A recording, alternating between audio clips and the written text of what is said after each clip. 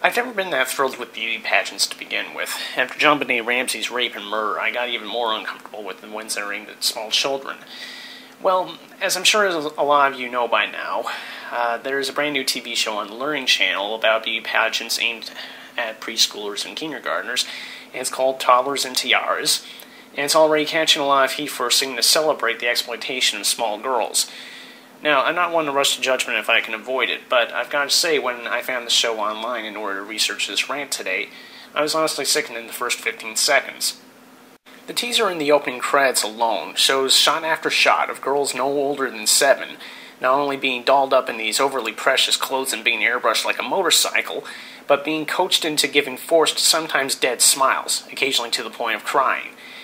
Then there are the many shots of these girls being paraded in swimsuits and short skirts, being told to make very suggestive dance moves.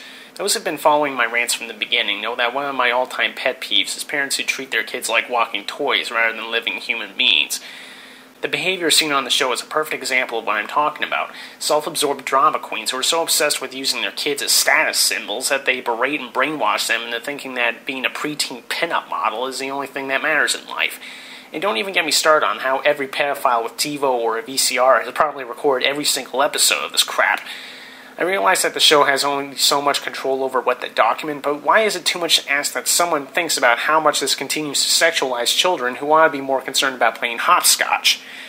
We live in an age where it is already way too easy to see kids getting used sexually, not only by the kind of pedophiles that get arrested every day, but by the commercial pedophiles who see nothing wrong with selling 8 year olds shirts that say things like Sexy 69, or having them in skin tight outfits with the slogan Lickable, supposedly referring to ice cream.